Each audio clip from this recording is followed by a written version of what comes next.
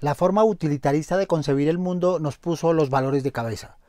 En la relación de los medios y periodistas con sus audiencias, el más importante de esos valores es la confianza, desplazada por aspectos circunstanciales que hoy parecen más urgentes, como la visibilidad, el tono pendenciero o la falsa solidaridad que produce la autovictimización por presuntas persecuciones. La confianza se construye en el ejercicio profesional, no en los discursos de autobombo. Las publicaciones son la cristalización de esa confianza, pero hace falta más que eso ahora que pontificamos acerca de la horizontalidad con las audiencias y la interacción con ellas. El alma de la confianza es la transparencia, que habla de lo que hacemos, pero sobre todo de cómo lo hacemos, dando la cara a imperfecciones y errores. Las audiencias tienen todo el derecho a conocer lo que sucede entre bastidores, de los dilemas éticos, especialmente cuando comprometen la información o la verdad misma. Nada de lo que pasa en la sala de redacción debe ser ajeno u oculto si existen principios que rigen esas relaciones. Es cuestión de coherencia, otro de los pilares de la confianza, cuyo efecto primero es la credibilidad.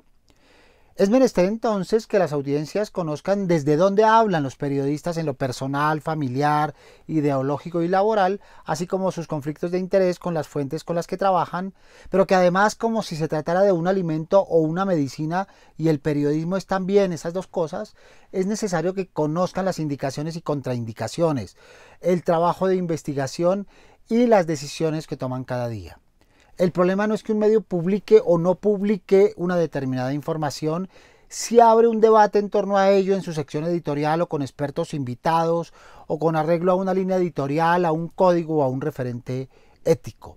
Así, las audiencias podrán entender la diferencia entre retener la información a la espera que se confirme o compruebe y la autocensura, que no siempre obedece al miedo o a la amenaza, o con la autorregulación, que a veces tiene que ver con la prudencia para impedir un daño mayor o la puesta en riesgo de personas.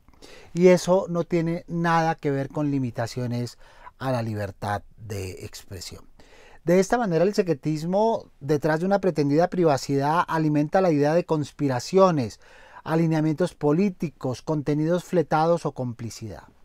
La realidad de los medios en este tipo de decisiones, sobre todo cuando se decide no publicar, habitualmente es más prosaica. Pasa por los problemas de reportería, la premura en su publicación cuando aún no está completa y solo en contados casos obedece a presiones indebidas. La confianza, otra vez, no es adhesión, es retroalimentación y crítica argumentada, es decir, la información que damos acerca de la información que proveemos.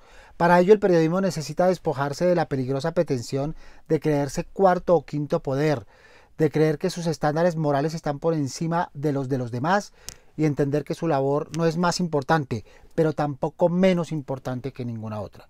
Y que por ello mismo debe rendir cuentas de lo que hace y de lo que no hace. En últimas, y como lo repetimos con frecuencia, lo que el periodismo requiere es humildad. Esa es la semilla de la confianza, nuestra tabla de salvación.